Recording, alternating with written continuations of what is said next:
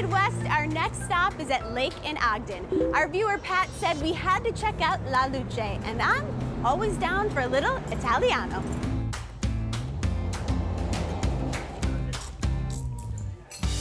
Am I pronouncing the name of the restaurant right? It's La, Luce.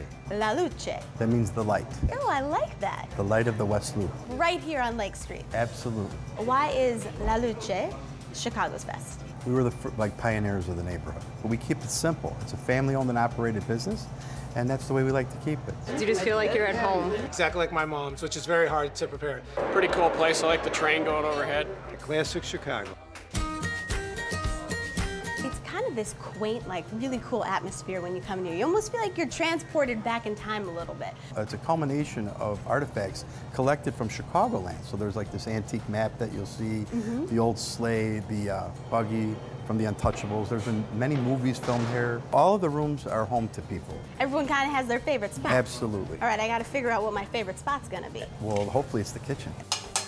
What are we gonna make today? Handmade eight-finger cavatelli prepared in our traditional vodka sauce. We got 10 fingers, Okay. so how has it become eight? I'm confused. Because They use their four Okay, fingers, you're yeah, and they're rolling them. So that's where the eight comes. No five finger cavatelli here, only, only eight fingers. Only eight fingers. That's how we do it. I'm getting my own little personal Okay, you did cooking your own lesson. your own cooking lesson? Yes, it's my mother-in-law's recipe. So we're just kind of rolling it into Yeah. like a a snake. snake. You got this down much better Yes. than me. Mine is Well, like a, I don't even know. It's good. We'll do a few. I can't get it. This you is, I'm you bad. can continue this process till you're done. Now we got them rolled out. So now they're rolled out. Now what do we do? Cut them like this. Take your eight fingers and put your fingers through them. You make that look Eight really fingers. easy, but you've been doing it for 40 some years. I mean, you've got it down. See, my mother-in-law made me. I had no choice. Maybe I'll have better luck with the vodka sauce. You're my third third person today, man. It's a busy day. It's a busy day. Yeah, Just you need a swapping break. you in and out. Yeah, boom, you need boom, a break. boom. I'm telling you about it. A little butter, A little chopped garlic, put a little salt, pepper. and some fresh parsley. You want to hit it with the garlic? You want me to hit it with the garlic? You mean the vodka? Oh, garlic vodka. You hit it, I'll swirl. Okay, it's gonna flame now. Like how hot. So don't jerk back. Okay, you hold the pan, I'll pour. Okay. A little cream. Marinara sauce back to the flame. We hear that this is some of the best vodka sauce in the city. Well, we just made it, so it has to be some of the best in the city, I no? mean, I made it, so it's definitely the Okay, best. see? All right, I swirl you down. Teamwork. Here's your cheese stick. That's okay. Let it roll. There you go. Got it a little. That's You probably did- one of the no, best no. ones I've done, just so you know. Okay.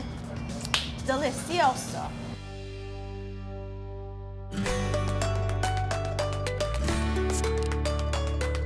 Let's dig right in. Whenever you do something and it's handmade, it's so much more flavor, so, This so one I much think's more intense. mine. I mean, oh, there you go. See, I That's had I yours. had mine that, did, That's that, Brittney's. that didn't form too well.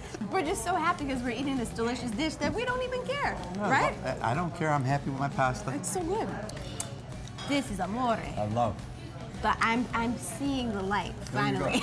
La Luce, you're seeing the light. I'm seeing La La Luce, the light. You might have to just stuff me in that carriage and give me a lift home. You got it.